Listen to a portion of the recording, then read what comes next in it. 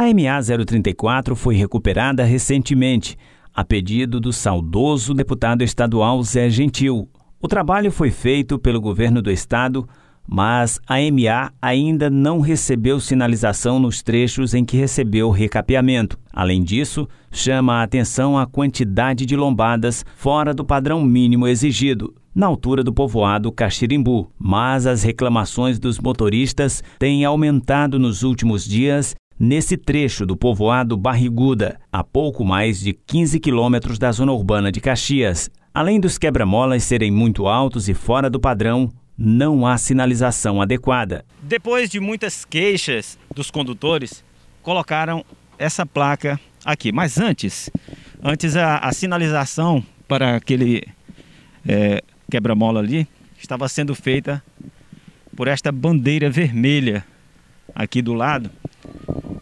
E assim, os motoristas, mesmo com, a, com essa sinalização que a gente mostrou, continuam reclamando de que está muito complicado passar por esse trecho aqui da Barriguda. Pelo menos três acidentes já foram registrados por aqui. Este condutor afirma que um candidato a vereador de Caxias teria mandado construir os três quebra-molas no povoado Barriguda, que vem causando dor de cabeça e transtornos a quem passa pelo local. Da barriguda, o seu Daniel Barro mandou fazer lá os quebra-mola fora do padrão.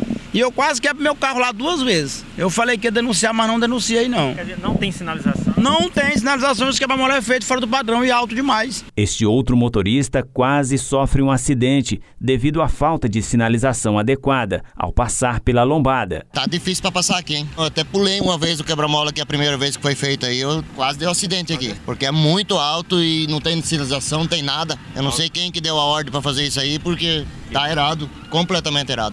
Este motorista de van pede providências das autoridades responsáveis, que neste caso é a Secretaria Estadual de Infraestrutura. Eles estão alto e não tem placa, não tem de, é, sinalização indicando que tem esses quebra-mola aqui. É importante que as autoridades vejam isso, né? É, que vem aqui e olhe se está tudo certo isso aí.